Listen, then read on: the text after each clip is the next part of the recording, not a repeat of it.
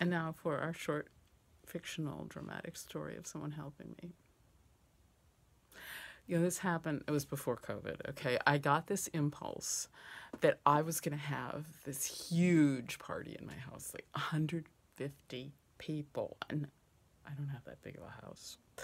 But I have a small yard in and I decided I want to do it. So I hired like four college students to help me out, and I spent days like planning the menu and all that stuff. And so then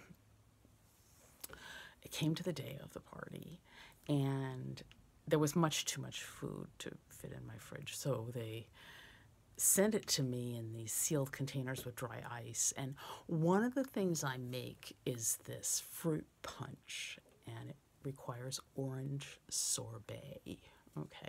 And the container with the orange sorbet, I had kind of peeked in. I saw a container of sorbet and I closed it again because I wanted to protect the dry ice and everything. And we got to the time, and I had this the time all planned when I had to start, and the students had to help me and all that.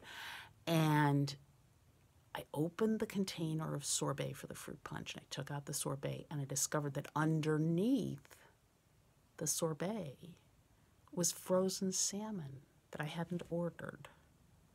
And I'm like, salmon? How am I going to make fruit punch with salmon? And of course, this was a late night party and the place was already closed and I couldn't order more sorbet. And my friend Hilda, she came up and she said, I'm going to cook the salmon for you and make it into little hors d'oeuvres. And she did. She made it all into little bite sized pieces with the toothpicks in them.